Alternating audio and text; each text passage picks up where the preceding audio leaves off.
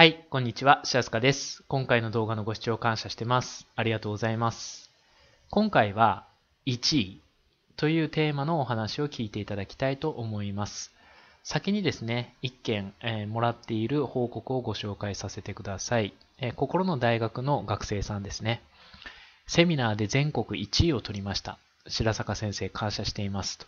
1位は人生で初かもしれません。人生が波に乗ってきましたということで、まあ、心の大学が開校して1ヶ月まだ経たないぐらいですけれども、まあ、早くもですね、自分の心の改革っていうのが進んで、まあ、実際こういう目に見える結果ということで、まあ、つながってきてると、まあ、というですね、まあ、非常にこう嬉しい報告でした。1位、本当に素晴らしいです。おめでとうございます。はい。ということで、今回は1位というテーマのお話を聞いていただこうと思うんですけれども、1位を目指すというのは本当に大事なことなんですね。で、よく、ね、あの、自信がないとか、どうやったら自信が持てるんでしょうかとか、まあそういうこう質問を受けることがあるんですけども、まあ簡単に言えばもう1位を取るってことなんですね。その、自信を持てたら1位が取れるっていうのも確かにあるんですけど、1位を取ったらもう絶対自信は持てるんですよ。だどうやったら1位を取らないで自信を持とうかっていうことを考えるのではなくて、まず1位を取るということに自分の持っている思考とかエネルギーとか時間というのを、ま、全部注ぎ込んだ方が、ま、実際は早いんですね。で、やっぱりあの起業するとかビジネスをやりたいとか経営したいって言ったことであればもう絶対に1位なんです。もう1位以外はもう2位以下は全て負けなんですね。なので、もうとにかくね、自信を持ちたいということであれば、もう結果を出すと、1位を取ってしまうということが一番大事です。で、1位を1回取れると、もうね、一生使える自信になるんですよ。自分は1位を取ることができたっていうのが1回経験があると、ね、あの、もう一生その自信っていうのは使うことができるんです。なぜなら、あの時自分は1位を取ることができたからと。すごいこの1位というのは人生において与える影響っていうのが大きいんですね。で、例えばね、その儀式的宗教とか、まあ、スピリチュアルとかですね、そういったのを、まあ、熱心にこうね、勉強してる人っていうのはね、あんまりこの競争っていう話があんまり好きじゃなかったりするんですけど、ね、確かに儀式的宗教とかスピリチュアルがね、まあ、例えばこの宇宙は無限ですと。ね、で、無限の世界っていうのは、みんなにね、あの、十分なだけ量が存在するので、だからね、あの競争する必要はないんだと。ね、分かち合いとかね、共生とかね、まあ、そういったメッセージっていうのがあったりするんですよね。で、この考え方っていうのは確かに正しいんですよね。正しいのは正しいんですよ。ただし、ね、大事な前提っていうのがあって、ね、この話が成立するのは、無限の宇宙を前提としている場合だけなんですよ。ね、確かに無限であれば、ね、あの、それは成り立つんですよ。ね、すべて無限であれば、ね、別に競争する必要ないですよね、というのは成り立つんですけど、ね、この前提がそもそもおかしいんです。なぜなら私たちは無限じゃなくて有限の中で生きているからですよね。まあ、一番わかりやすいのは、お客さんが持ってるお金って無限じゃないですよね。有限です。ね、お客さんは無限にお金を持ってるわけじゃなくて有限のお金を持ってるわけです。だからね、欲しいものっていうのを全て買うことはできないわけですよ。やっぱ欲しいものの中から自分がね、本当に一つとか二つとかね、そういったのをこう選びながら買っていくしかないわけですよね。もしお客さんが持ってるお金が無限って言うんだったらね、別に1位じゃなくても2位でも3位でも商品を買ってもらえるとか、サービスを受けてもらえるってことはあるかもしれないですけど、ね、そうじゃなくて自分あ、お客さんが持ってるお金は有限なので、その有限のお金をなんとかこうやりくりするわけですよね。で、そうしたときに、じゃ自分にとって1位、そのお客さんにとっての一番と思う商品、ね、お客さんにとって一番と思うサービスっていうのを当然こう選びながらお客さんは買うわけです。であれば、逆の立場であるその商品サービスを提供する側っていうのも、ね、相手にとって1位じゃなければ選んでもらえないわけですよ。商品買ってもらえないし、サービスを受けてもらえないわけですよね。だから、ね、確かにこの宇宙がね、無限ですと。ね、正しいですよね。ね、あの無限の世界にはね、競争は必要ありませんと。それも正しいわけです。でだから、ね、みんなで分かち合って共生していきましょうっていうのも正しいんですけど、残念なんですけど、私たちは無限の宇宙に住みながらも有限の地球に住んでるので、ね、時間とか空間とかね、お金っていうのは有限なんですよね。有限の世界ではもう競争なんですよ。ね、そのことから目を背けて逃げると絶対人生は変わんないんです。ね、絶対変わんないんですよ。ね、あの、いや、ね、ただ、あのね、競争じゃないよね、と。ね、あっていう、なんかね、こう、本当にこう、綺麗な言葉にね、流されていくと、まあ、人生は絶対変わんないです。もうその現実っていうのはしっかり認めて、ね、もうこの人生っていうのはね、競争なんだと。ね、自分が1位を取らなかったらもう負けなんだと。いうことで、現実にしっかりとこう目を見開いて、ね、要するに人生とか現実に対してこう戦いを挑んでいかないと、ね、あの変わっていかないんですよね。なので、お客さんは自分にとって一番だと思う商品を買うし、お客さんは自分にとって一番だと思うサービスを受けるわけなので、当然提供する逆の立場も自分がお客さんにとっての一番になろうというのは当たり前なんですよ。だからもうね、あの基本的には競争だし、1位を取ると。ね、2位以下はっていうのは基本負けなんです。少なくてもビジネスとか経営とかっていう世界の中ではもう絶対負けなんです。2位は負けなんです。惜しくもないんですね。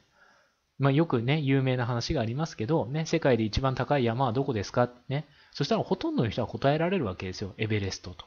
ね。では2位は？って言ったらね、もうガカーンとこう正解率が下がりますよね。世界で2位の山がどこなんてね、考えたことがないわけですよ。ね。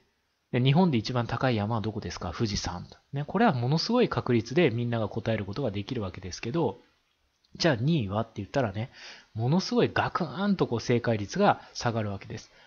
普通の人っていうのはね、日本で2番目に高い山なんてね、あの気にも留めたことがないわけですよ。で、これは全ての商品、サービスに対して同じことが言えるんです。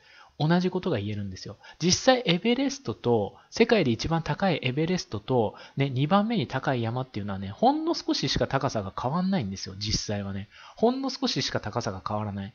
例えば世界で、あ、日本で一番高い富士山とね、2番目に高い山っていうのはね、そんなに変わんないんですよ、差はね。変わんないんですけど、でも人がね、それ認知してる。ね、知ってる知ってるってね、あ、それ知ってるよ、エベレストだよと。ね、それ知ってるよ、富士山だよっていうのの、その認知度の差っていうのはもうね、圧倒的な差があるわけですよ。ね、2位以下っていうのは基本的にはお客さんの、ね、脳の中では存在してないのと同じなんです。だから、当然、ね、その商品、サービスは全てそういうものだっていうふうに思った方がいいわけです。ね、自分の商品が1位じゃなかったら、そもそもお客さんの脳の中には存在できてないと。ね、自分が提供するサービスっていうのが1位じゃなければ、少なくてもお客さんの脳の中には存在してないと。ね、ないのと同じなんだと。いうのを認めた上で、で、1位っていうのを本気でね、全身全霊で、あの、目指していくということは当然なんですね。それをやってなかったら絶対ね、あの5年持たないです。起業してもね。起業しても5年持たないです。最初からね、なんか自分がね、生活できればいいなとかね、なんかね、なんとかなんとか食っていければいいなとかだったらね、まず5年持たないです。ね、少なくても5年以内に1位を取ろうという気持ちで本当にやらないと、ね、あの、利益っていうのが出ないんですね。なぜなら2位以下っていうのはお客さんの中ではね、どうでもいい、存在してないのと同じなんです。だからとにかく1位を取ると、1位を目指すということを考えるってことはものすごい重要なんです。で、この1位っていうのを意識してないと、人のね、基準っていうのが、もし自分の基準がね、1位っていうのになってなかったら、基準がどこまで下がっちゃうかっていうと、自己満足に下がっちゃうわけですよ。私は自分なりに一生懸命勉強してますとかね。私は自分なりに一生懸命仕事してますとかね。私は自分なりに一生懸命努力してますっていうね、基準がね、自分なりになっちゃうんですよ。で、それはね、もう地球73億人みんなそうですよね。地球73億人みんな、ね、他人から見てどう、どう歌ったとしても、本人なりにはですよ、本人なりには73億人全ての人が自分なりには勉強してるし、自分なりには仕事してるし、自分なりには努力してるんですよ。ね、そんなのは本当に当たり前なんです。ね。なんですけど、1位っていう目標を持ってなかったら、どうしてもね、人間っていうのはそういう、ね、本能に流されるんですよね。ね頑張る理由がないわけですよ。自分なりにだったら。ね、自分なりに勉強して、自分なりにね、仕事をして、自分なりに努力するっていうんだったらね、頑張る理由がないわけです。脳、脳からしたらね。脳もね、無限じゃなくて有限ですよね。1日に3食食べたそのエネルギー、そのカロリーを使って脳っていうのは情報処理するわけですから、ね、でできるだけね、最小の努力で済ましたいわけですよ、脳もね。できるだけ少ない努力で効率よくね、情報処理しようとしてるわけです。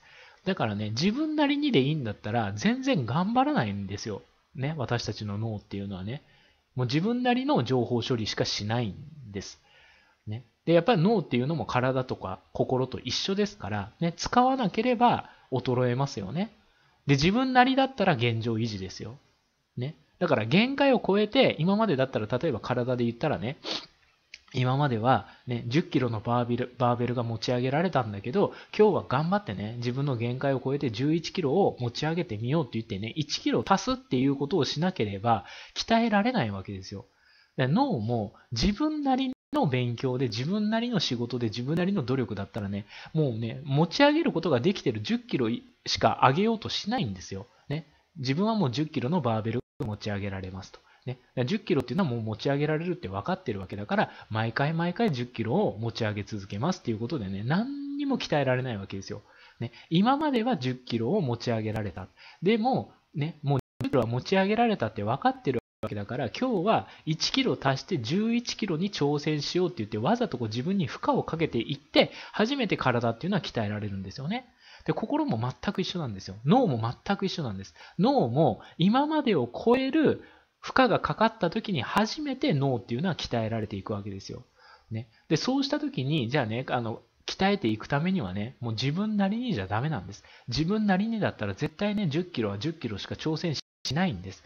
ね、1位を目指すんですよ。もし1位の人がね、バーベル100キロ上げてると、自分は10キロだと。っていうことであればね、100キロに近づいていきたいと。ね。だからもう自分はね、10キロを持ち上げるんだけど、ね、あの、ずっとね、10キロ持ち上げ続けてても100キロには近づかないから、1位を目指している以上、100キロに近づいていくために今日は1キロ足して11キロの負荷をかけていこうということで、脳の本能に逆らっていかないといけないんですね。だから、1位か自己満足かどっちかなんですよ。私たちの人生というのはね。1位か自己満足。ね。1位になるか、それとも自分なりに生きるかっていう感じなんです。本当にその、もうどっちかなんですね。だから1位を目指す必要があるんです。1位っていうのはね、絶対偶然じゃないですから。ね、絶対偶然になり得る数字じゃないんですよ。ね。私たちがね、あの、数十年間歩いてきましたと。ね。じゃあ、エベレストの山頂に登ったことはないんです。な、な、なんでないんですか？って言ったらね、登ろうと決めてないからなんですよね。エベレスト山の山頂に立つことができた人は何十万歩何百万歩歩いた人っていうことじゃなくて登るって決めてる人だけですよね。絶対に生きてる間にエベレストの山頂に立つって決めてる人だけがね、エベレストの山頂に立つわけですよ。それと一緒で、ね、どれだけね、あの私たちがね、何十万歩、何百万歩、何千万歩って歩いたとしても、偶然山頂に立ってる1位が取れてるなんてことは絶対ないんです。100%ない。ね、1位が取れる人っていうのはもうね、1位を取りに行ってるんですよ。1位を目指してるんです。1位を目指してる人だけが本当に1位という結果を出すことができるんですね。で、1位を目指さなかったらもう私たちの人生は自己満足です。自分なりです。もう自分なりに勉強してます。自分なりにね、あの仕事してます。自分なりに努力してます。もうそれで終わりです。ね、そこに偶然は起きません。ね、そういう偶然って起きないんですよ。ね、常に、ね、100キロに対して今日は11キロに挑戦してみようと。ね、今日は12キロに挑戦してみようって言って、1位になるために自分にどんどんどんどん負荷をかけていくことができる人しか進化成長していかないんですね。脳は鍛えられないし、心は改革されないんですよ。だから絶対1位という目標が必要になります。で、それもね、本当の本心、本音からの1位になりたいっていう気持ちが必要なんですね。2位は負けなんです。2位はお客さんの脳の中では存在してないのと同じなんです。2位っていうのはね、お客さんからしたらね、あってもなくてもどっちでもいいんですよ。2位の会社がね、今日この瞬間潰れたとしてもお客さんは何にも困んないんです。1位のしあのね、商品から1位の商品を買えばいいわけだから、2位が潰れてもね、何にも困んないんですよ。で、それが現実なんです。ね。だから私たちっていうのは常に競争社会の中に生きていて、その競争の中で生き残るためには、もう最初から1位っていうのを本気で目指してやるっていう必要があるんです。2位は負けなんです。惜しくもないんです。ね。絶対1位が必要なんですね。そうしたときに、ね、過去1位だったかどうかっていうのはどうでもいいんですよ。ね、過去ってもう過ぎ去ったものですよね。もうまさに漢字の通りですよ。漢字の通り、過去なんていうのはもう過ぎ去ったもので、ね、命の炎を燃やした、もう燃えかすですよね。灰なんですよ。ね、その灰をね何あの何回も何回もね、もう懐かしがっていたとしても、ね、その灰は炎には戻らないんです。だからもうどうでもいいんですよ。さっさと捨てればいいんです。ね、過去なんていうのは。で、現在、この瞬間、今、自分が1位かどうかもどうでもいいんですよ。ね、どんな人だって、ね、例えばね、あの、世界のホンダを作り上げた本田宗一郎さんだって、ね、世界のホンダって言ってる時はね、全然、ね、1位じゃなかったわけですよ。世界のホンダってみかん箱の上に立って言ってる時はね、もう全然1位どころかね、本当に町工場ですよね。あってもなくてもどっちでもいいような町工場からスタートしてるわけですよ。ね、ソフトバンクの孫正義社長もそうですよね。世界一のグループ会社を作るっていうのをね、1位じゃない時から言い続けてるわけですよ。ね、だから現在1位か、この瞬間1位かどうかっていうことも関係ないんです。ね、目指してるのがね、本心、本音、本気で1位かどうかっていうね、ことが大事なんです。ね、で、2番まで行った時にね、あとね、もうあ絶対ここからが勝負だと。ね、2位まで来たってことはね、惜しくもないと。ね、全然ここで止まっちゃダメだと。とにかく1位だと。1位を取るまでは絶対この手を緩めてはいけないっていうことで、1位をとにかく目指してるかどうか、しかも本気で目指してるかどうかっていうことが大事なんです。だから、24時間365日、起きてる時も寝てる時もね、その寝てる間の夢でも自分が1位になる姿っていうのを常に思い浮かべて、どうすれば1位が取れるかっていうことをずっと考えるんですよ。ね、ずっと考えるんです。そのね、1位になるためのこ,、ね、ことを考えるんです。ね、だから起きてるときはもちろんですけどね、あの寝てる時の夢に出てくるぐらい1位のことばっかり考えるんです。ね、そして、どうすれば1位になれるんだろうと。どうすれば1位になれるんだろうっていうのをずっと考え続けるんですよ。ね、勉強してる時も、仕事をしてる時も、ね、ご飯食べてる時も、どっかね、リラックスしてね、例えば温泉に入りに行ってるとかね、もうそういった時にありとあらゆるところでいつも1位になることを考えるんです。そしたらね、必ず思いつきますから、ね、あ、これやったらいいんじゃないかなっていうことがね、絶対思いつくんですよ。ね、アイデアっていうのが出てくるんです。そしたらもう全部やるってことなんです。すべてやると。ね、思いついたことは全部やると。ね、これはね、実際ね、効率とか求めちゃダメなんですよ。ね、無駄をしたくないとかね、できるだけ手を抜きたいとかね、できるだけ効率よくやりたいとか、そんなこと考えちゃダメなんです。1位じゃないんだったら、1位になる可能性がほんのね、1ミリでもあるっていうんだったら、ね、あの、それをやるんですよ。ね。まあ、例えばお金に換算しては、え、説明した方が分かりやすいということであれば、自分はね、1億円欲しいですと。って言った時に普通の人はですよ。普通の人はもう宝くじぐらいしか思いつかないですよね。1億円って言ったらね。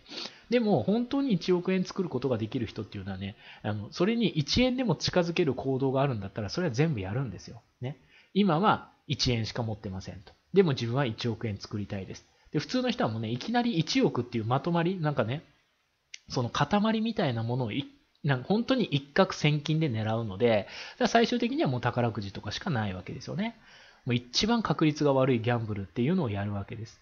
なんですけど、本当に1億円作ることができる人っていうのは、今は1円ですと。ね、1億円持ちたいです。ね、その時になんかね、自分はどうやったら1億円持てるんだろうということをずっと24時間365日考えてたら、1円稼げる方法っていうのがたくさん思いつくんですよ。あ、これやったら1円利益出るかもなと。あ、これやったら1円利益出るかもなと。あ、これやったら1円利益出るかもなっていうのがたくさん思いつくんですよ。それ全部やるんです。ね、全部やるんです。そしたら、ね、もう1億円作ることができるっていうのは時間だけの問題ですよね。で1位も全く一緒なんですよ。1位になるっていう人はね、たった一つのね、方法で1位を取ろうとするんですけど、ね、そういうことを考えてる暇があったら、ね、本当に1ミリでも1位に近づける行動がひらめいたら、それは全部やるんです。ね、効率なんか絶対求めてダメなんです。ね、脳の本能の逆を行くってことが大事です。脳の本能っていうのはね、最小の努力で最大の成果を得ようとしてるんです。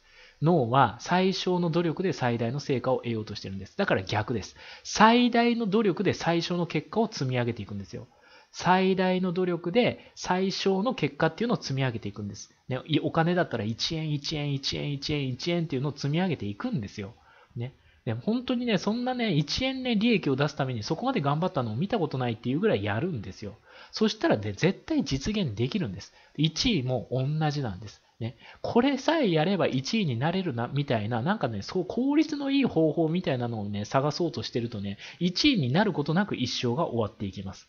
ね、そんな、なんかね、楽して1位になろうなんていうのを考えてたら、ね、もうそのことを考えてるだけで、ね、終わっちゃうんですよ。そうじゃなくて、どうすれば1位になれるかっていうのを常に24時間365日寝てる時も起きてる時もご飯食べてる時もお風呂入ってる時も考えるんですよ。そしたら思いつくことがあるから、それを全部やるんです。すべてやるんです。ね、一つ残らずやるんです。そしたら必ず1位になるのは時間だけの問題なんですね。それほど自己の人生っていうのは簡単なんですよ。ね。これは1位に近づく、例えばね、100キロバーベルを上げてる人がいる、自分は10キロしか上げられない。だから今日は11キロに挑戦する。もうそれの続きなんですよ。で、11キロっていうのが上げられるようになったら12キロに挑戦していくんですよ。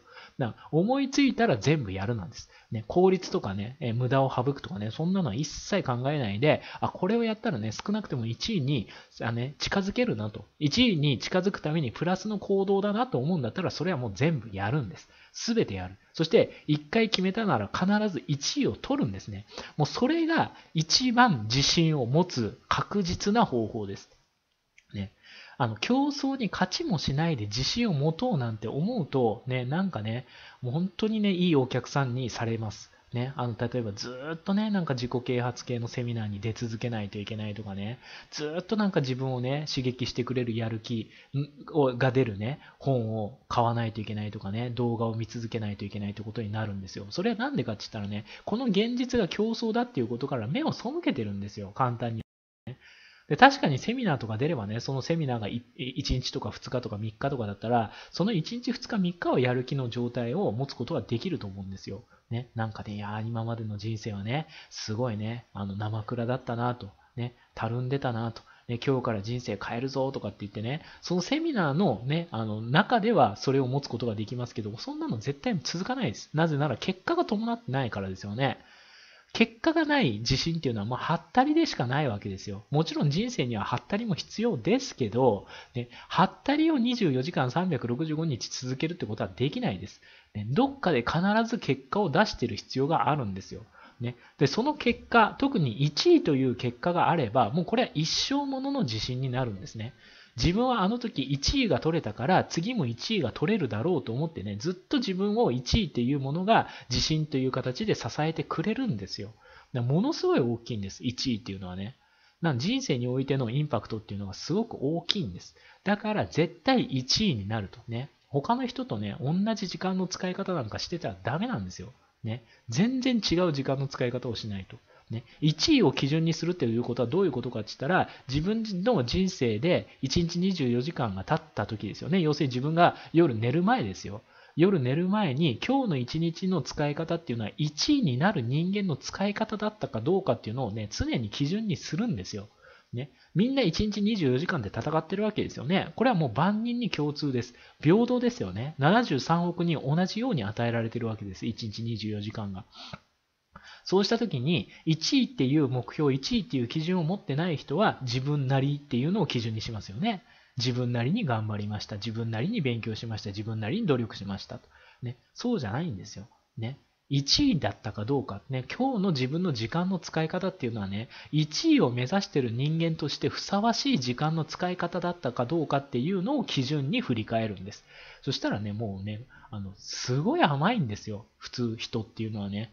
ね、自分なりだったらね、満足できるけど、1位って言われると、ね、いやもう全然ね、今日の1日の24時間の使い方はね、1位を目指してる人間の時間の使い方だったじゃなかったなということでね、で次の日はね、絶対ね、少なくても、ね、時間の使い方だけは1位を目指してる人間としてふさわしい時間の使い方をしようっていうのをこう繰り返していくんです。ね。そして1位になる、1位になる、1位になるっていうのをいつも考えてたら、これをやったら1位に1ミリぐらい近づけるかなっていう行動を必ず思いつくので、思いついたらそれを全部やるんです。ね。とにかく基準を、ね、人は1位っていう目標を作らなければ基準が自己満足なので、自分なりにしか絶対やりませんから、人は。ね、これはもうどんな人もそうなんです。ね、どんな人も、ね、1位という目標を持ってなかったら、もう自分の基準は自己満足なんですよ。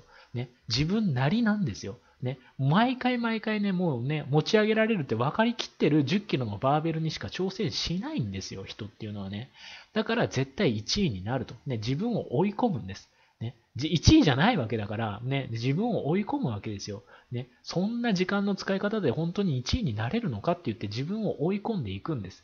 そして1位を基準にすると。ね、で、1日を振り返るときは今日の自分の時間の使い方っていうのはね、1位になる人間としてふさわしい時間の使い方だったかっていうのを振り返って、明日はね、もっと1位に近づこうと。ね、で、絶対自分が生きてる間に、それがね、30年かかっても20年かかっても10年かかっても絶対1位になると。ね、必ず1位になると。2位は負けだと。1位になるまで絶対やるって思ってたら本当に1位になれるんです。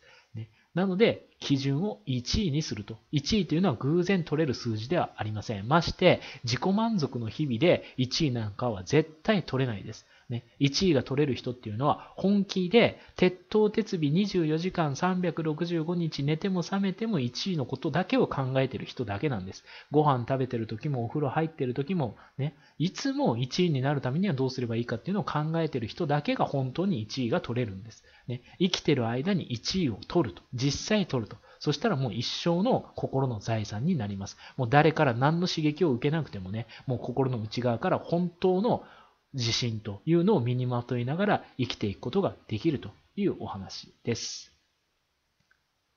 はい。もし今回の動画がですね、あなたのお役に立ったということであれば、ぜひグッドのボタンを押して応援していただけると嬉しいです。チャンネル登録もよろしくお願いいたします。最後までご視聴くださり感謝してます。ありがとうございます。白坂慎太郎でした。それではまた。